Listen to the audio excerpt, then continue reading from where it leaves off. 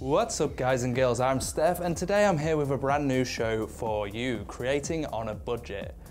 We all have worked on a shoestring budgets in the past using skateboards as dollies, small children as monopods. Yeah, it's an effort to make them stand still and struggling to buy the next big game to produce content around. But here you will find the tips to save you some money on production, on the titles you want to create around, on all sorts of different things. So, you're an FPS creator, or maybe an RPG connoisseur. Today I have the thing for you. We are talking about Origins Access today.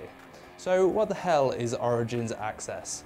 Well my friends, Origin Access is about you getting a butt ton of titles at an itsy bitsy price.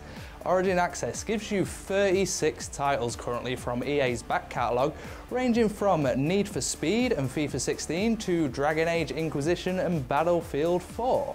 On top of that, they have Play First trials, which allow you to try new EA titles for a limited time before they're even released to the general populace.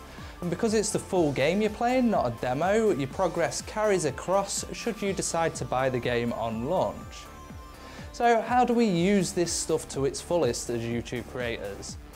Here's what I would suggest. Sub up for one month and try the current Play First game, which is the new Mirror's Edge Catalyst, so you can produce a couple of videos on it before most other people have a chance to. If it's not a hit with your audience, you know not to consider buying the game purely for YouTube purposes, though get it if you enjoy it.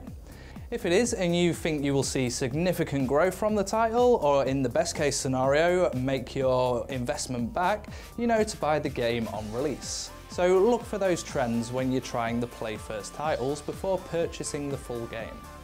So let's get on to the EA Vault. This is where the meat and the bones of the product is. With the Vault, it gives you the opportunity to explore and try new games that maybe you've not been interested in before. For instance, if you're an MMORPG creator, maybe you create dungeon guides or you just do playthroughs leveling up and you're feeling a little bit burnt out and need to take a break, this is an awesome way to pick up something like Titanfall without the initial investment for the full game. Play for a month, create a little bit of content around it, and then get back to your bread and butter. And that way you're not making the full outlay on the full price of the game, which I think is currently $40 for Titanfall. So you've just saved yourself a butt ton of money and produced a butt ton of content for $6. It's not bad, right? So the next thing, maybe you're a new creator and you haven't yet figured out your niche. This is a great way to explore a ton of titles from a big catalogue and find out what works for you. They have titles from lots of different genres, so there's lots of different things you can try. Another thing to consider is maybe you just want the story, no multiplayer. This is a great way to play through games such as Battlefield 4 that have a very small story for $6 instead of paying the full price, $40 for the full game. And along with the $6, you get all the expansion packs. So you're making a massive saving if you're just somebody who wants to experience the story. On a fi final note, something to keep an eye on. Constantly, EA is updating what they call the On the House section.